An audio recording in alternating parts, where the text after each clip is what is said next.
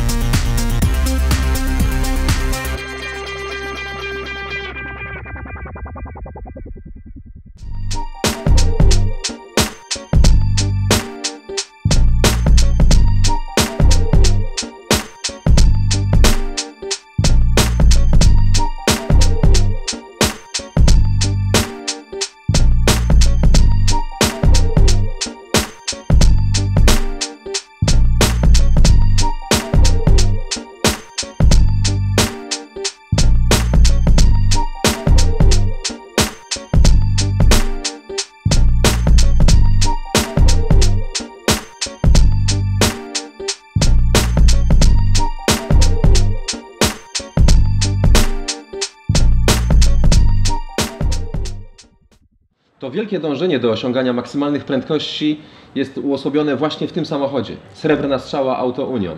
Jesteśmy w Muzeum Audi, więc e, tego rodzaju samochody na pewno powinny się tutaj znaleźć.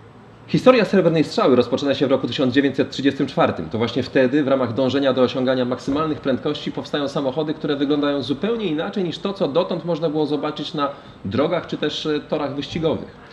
Najciekawsze jest to, że te samochody mają potężną moc, wielkie silniki i uwaga, bębnowe hamulce, które jak wiadomo są zupełnie niewydajne. W pewnej chwili doszło już nawet do tego, że trzeba było stosować tak zwane hamulce aerodynamiczne, e, żeby te mogły po prostu wytrzymać e, normalny wyścig. Na dodatek prędkości maksymalne osiągane przez te samochody są wręcz gargantuiczne. Ten samochód, w którym siedzę, nie należy do najszybszych. Maksymalna prędkość to 250 km na godzinę. Auto należało do Hansa Sztuka, który był mistrzem jeśli chodzi o górskie wyścigi i ten samochód również ma w tej materii naprawdę niebagatelne osiągnięcia. Ale okazuje się, że były takie momenty, kiedy srebrne strzały, bo mówimy tu również o samochodach marki Mercedes, osiągały nawet prędkość 380 km na prostej. I teraz uważajcie, samochód, który nie ma właściwie strefy zgniotu, samochód, który nie ma pasów bezpieczeństwa, samochód, który nie ma żadnych systemów wspomagających, kim byli ludzie, którzy osiągali tego rodzaju prędkości jadąc autem, które nie miało nawet kabiny. No, jedno jest pewne. Skóra na kierownicy, kochani. Naprawdę. Prawdopodobnie jest to również standard. Naprawdę nie ma żadnego problemu, żeby zrobić tu zimny łokieć. Poza tym mam elegancką, gustowną szybkę. Mogę sobie ją nawet w każdej chwili wytrzeć z zewnątrz.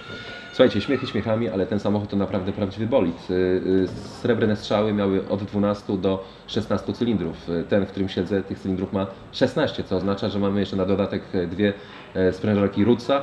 Całość generuje olbrzymią 500 konną moc, co powoduje, że to auto niesamowicie przyspiesza. Zwróćcie uwagę, jak wyglądają oponki te cieniutkie oponki, na szczęście z tyłu ktoś pokusił się jednak o bliźniaki. Natomiast y, pamiętajcie, żadnych systemów bezpieczeństwa. Bardzo ciężko się wsiada, podejrzewam, że jeszcze ciężej się będzie wysiadać. Natomiast y, historia srebrnych strzał jest y, bardzo mocno zróżnicowana.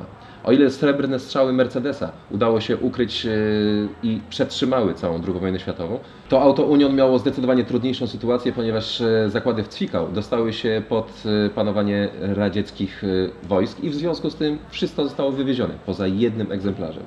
Auto, w którym siedzę, to właśnie egzemplarz, który służył do górskich wyścigów.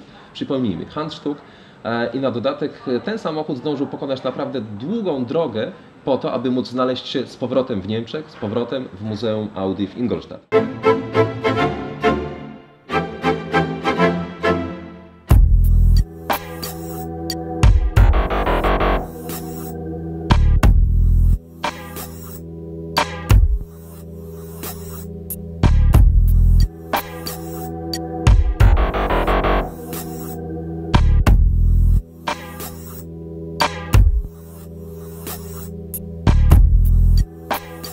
Kiedy w 1934 roku rozpoczął się mit srebrnej strzały, e, zaczęła się również nagroda o Grand Prix. Ustalono jedną podstawową zasadę, bardzo prostą, a mianowicie masa pojazdu nie może przekraczać 750 kg. I tak się to zaczęło. Apogeum tej walki właściwie można powiedzieć, że zostało osiągnięte w okolicach roku 1937.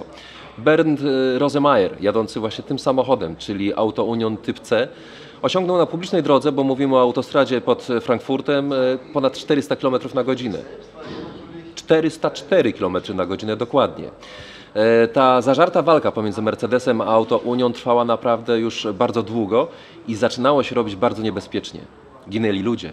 E, Okazało się, że również taka historia spotkała Bernda Rosemeyera, który w styczniu 1938 roku, e, próbując pobić kolejny rekord, e, prawdopodobnie z powodu silnego bocznego podmuchu powietrza, wzbił się właśnie w to powietrze, runął, auto zostało doszczętnie rozbite, kierowca zginął. Ostatnia zanotowana prędkość tego samochodu to 430 km na godzinę. Po historiach związanych z biciem rekordów przez srebrne strzały e, po II wojnie światowej pojawiła się zupełnie nowa sytuacja, a mianowicie rewolucja w napędach. Jesteśmy przy skromnie wyglądającym samochodzie. To Audi Quattro, nazwa brzmiąca przepięknie, z włoskiego Quattro, 4, a więc napęd na cztery koła. E, Cała sytuacja wzięła się od tego, że w 1977 roku W zimowych warunkach testowano dwa samochody, a mianowicie Audi 200 i Volkswagena Iltisa. Iltis to dość powolna terenówka z napędem właśnie na cztery koła. I nagle doszło do takiej sytuacji, kiedy okazało się, że w tych trudnych śnieżnych warunkach powolny Iltis radzi sobie o wiele lepiej niż 170-konna e, limuzyna. I wówczas pojawiła się ta lampka, pomysł, a mianowicie myśl, która spowodowała, że do samochodu z dużym silnikiem, który może mieć niezłe osiągi, postanowiono włączyć napęd pochodzący właśnie z Iltisa, a więc napęd na cztery koła. Audi Quattro rozpoczęło zupełnie nową historię, jeśli chodzi o rajdy samochodowe. Wystarczy powiedzieć, że w 1981 roku Hanu Mikola, który jako pierwszy miał okazję jeździć Audi z napędem na cztery koła i już wtedy wyrażał bardzo głębokie wyrazy zachwytu, w 1981 roku podczas e, rajdu Mistrzostw Świata na pierwszym etapie przegonił konkurencję na całych 6 minut. Rozpoczęła się zupełnie nowa era w wyścigach samochodowych.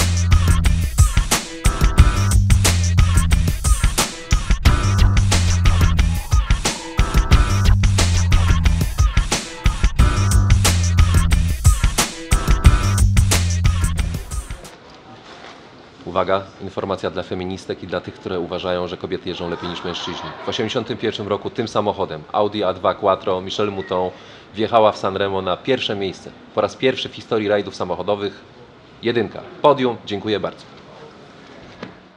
Wśród samochodów Audi z napędem Quattro pojawił się również ten potwór Audi 90 o mocy 720 koni mechanicznych.